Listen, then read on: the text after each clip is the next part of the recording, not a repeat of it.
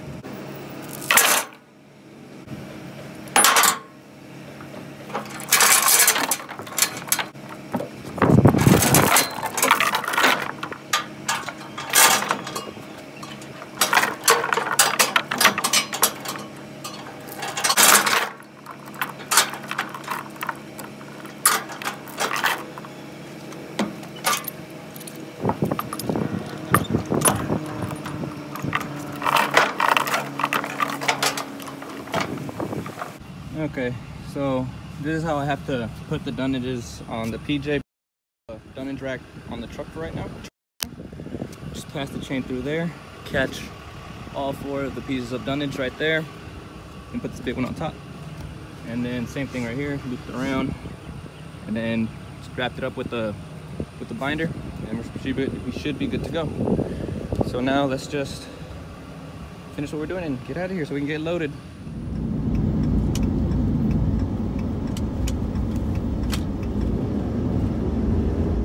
Right guys. So we just made it on site. It was about an hour away from my house. Well yeah, more or less traffic and all that good stuff. So i made it on site and this is a little funny thing about i guess using google maps as a gps as long as also as well as like your apple maps as a gps and i guess just any gps in general that at, at this particular site where i'm at they told me or the gps address was like a, a street down. It was like over there somewhere, like in that on the other side of that fence. So I slowly pulled up to it. I kind of noticed nobody was there, so I started moving a little bit more forward, and then I saw um, the that's well. There's another sign similar to that outside, and it's the name of the company and the address. So I, I pulled in here. Uh, unfortunately, well, I eh, it just depends on who you are. Uh, there's another driver back there who was kind of not stuck, but he was um, parked back there a little bit further back trying to see, um, I guess, how, if he was getting the right place or not. So, you know, I, I went around him and I got here first. So I guess it's just, you know, how, how it goes sometimes. So now that I'm here, uh, there was also an interesting thing when I got here. And I'm gonna reverse the camera right this right quick for y'all. Signs right here, you know, PPE, go to the window first, and then you see that bridge right there. All drivers must go to the window. So, as soon as I got here, I got out, and I went to this place right here. Nobody was there. It's like empty and abandoned. We'll move forward a little bit. So then I went into the warehouse over there because, you know, the bridge is right there, you know, it has a sign. So maybe it means, you know, cross the bridge, go to the, the, the warehouse and, um, you know, talk to them about it. But uh, there was nobody there. So what I ended up doing was asking this gentleman in this truck, because he was parked in front of me, where do I go to, uh, you know, do the paperwork? And he just told me, go across the street to that house, to the back, ring on the doorbell, and they should answer, and they'll help you. So that's what I did. Went inside, talked to them. Pretty nice lady. Uh, got all the paperwork done and all that good stuff. And now I'm here with this bright pink piece of paper on my dash so they could see and then tell me to move forward or whatever.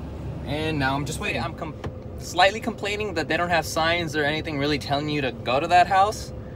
But it's also like a small hiccup that doesn't really matter, you know, as long as, you know, you can't be like, hey, y'all should really put up some signs, something like that, because that's just, they know how to run their things. They're here. Uh, you know, maybe they can take a suggestion, but I'm sure they've been open long enough and heard it long enough as to where people ask them, you know, if they can like do something like that. If they don't want to do it, they're not doing it for some reason, but whatever.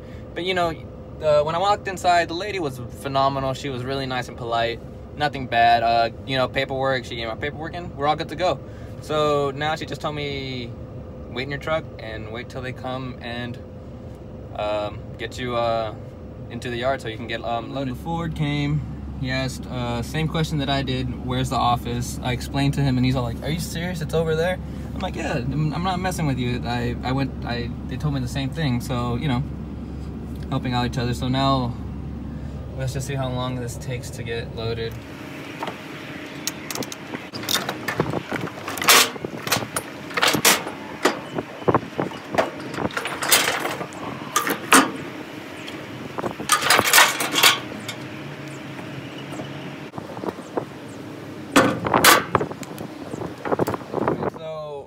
um, the one of the workers came, uh, got my paperwork, uh, told me where to go. So now I'm in the yard. Uh, he also advised me to switch out the first piece of dunnages that I got, the four foot one, replace that with the eight foot uh, piece of four by four, and then put that piece plus another piece, another eight, four footer to make eight feet uh, in the middle. So that's what I did. You know, they know more, they know best. It's their job, so that's what I do. So now I'm just waiting. I'm about to uh, put on my pipe stakes on the driver's side because I'm pretty sure they're gonna load me from the passenger side because I got pipes right here. I got a little bit of room right there. More room than I than I need or a little bit less room than I need. But you know, I can back forward or forward and back, but more than likely they'll load me from that side. So now that I got my dunnage out, let me get my pipe stakes out and let me get like a few straps out and then let's let's finish this. if I can switch them. This one was in the middle and now it's over here and there's two four footers right there so and now let's get these pipe stakes on this side real quick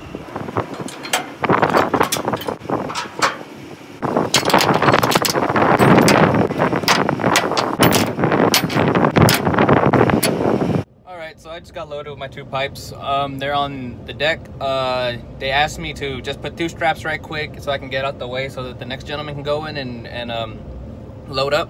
So I just put two uh, two inch straps. Didn't go that quick. Didn't go. It was just reverse, and then you know do a, a, a 45, a 90, and then just park here while I get finished strapping, and then go inside and do the paperwork. So now with that, let me uh, quit yapping and get to strapping, and then get my paperwork so I can get out of here.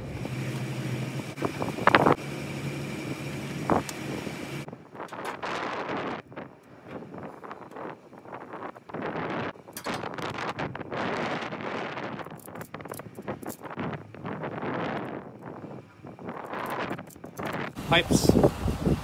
I got a belly band in the front, middle, and rear, and I got five straps total, including three belly bands and two over the top. I do got my pipe stake out, which I still need to put on the other side and put them on properly, which I will here in a second, but got my paperwork, got everything ready. So let me put those uh, other pipe stakes up, and then let's get moving. And with that, I think it's probably the end of the video. Um, got here around 2.30 leaving around 4 o'clock so about an hour and a half of turnaround time more or less which isn't too bad you know they were busy uh, attending other drivers and stuff. You know, it's just part of the game. Hurry up and wait. But that's fine. Got loaded and headed back. Uh, let's see. I'm dropping off in Cuero, which is like down 59, and like usual, I'm lucky enough to live going down that way, so I get to eat an hour, or I get to kill an hour of the trip going down there, spend the night at the house, and then continue moving forward after that. But yeah, uh, put five bands on this one. Belly band on top, belly band on top, and a belly band. So belly band at the front and the middle, in the front, in the back, and the middle, and the two are just other ones on top. I I mostly just put two inches or two inches. I put four two inches, which is the first belly band. The second one is just a two incher strapped on top. The middle one is a four incher that I put. That's a belly band, and then the last two are two inchers. One's strapped on top, and the other one is belly band around. And I got my pipe stakes up, and we're all good to go. So let's head to. Actually, I'm not going to the house. I'm going to the lot because my parents are parked at the house.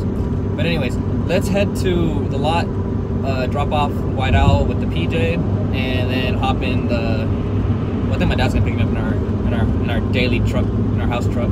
So yeah. But anyways, uh, thank y'all for watching. Like, comment, subscribe. Let me know what you think. Um, and yeah. Let me know. Oh, actually, here, here's a good thing. Here's a, here's a here's like a, a, a comment request or whatever. You kind of saw how my uh, how I had to walk to the like the house next door, like the neighbor, to give me the paperwork type of deal, like the property next door. Which is the weirdest place one of you would have, one of y'all have had to have gone to to get paperwork. You know, whether it's you know trucking or just in general, like someone tells you go over there and you know you're looking around, you're looking for a window and there's nothing there. You know, just just leave a comment down below telling me a quick little story about that. But yeah, with that, I'm gonna wrap things up. Thank you for watching. Like, comment, subscribe. Follow the Instagram, j.j.j.hotshotservice. And until the next video, thank you. Peace.